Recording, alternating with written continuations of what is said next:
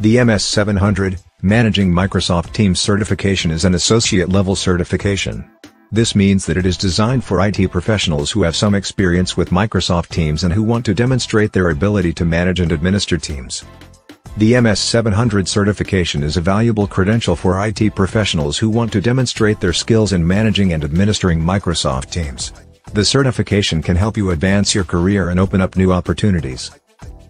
As a candidate for this exam, you should have a working knowledge of Microsoft 365 services, including Microsoft 365 Groups, Microsoft SharePoint Online, OneDrive, Exchange, Azure Active Directory, part of Microsoft Entra.